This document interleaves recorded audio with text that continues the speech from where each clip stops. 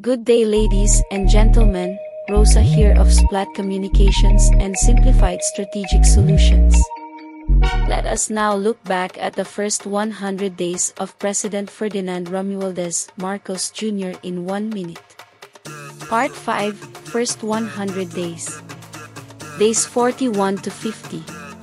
August 9. Attending the state funeral of former President Fidel V. Ramos. August 10. Meeting with DTI.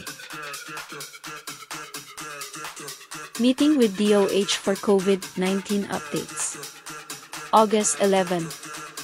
Attending the 15th Philippine National Health Research System Week. Administering the mass oath-taking of officials of the League of Provinces of the Philippines. August 12. Leading the oath-taking of the new members of the Bangsamoro Transition Authority, BTA. Administering Domingo F. Panganiban as Undersecretary of the Department of Agriculture. August 15. Meeting with the members of the Philippine Chamber of Food Manufacturers. August 18.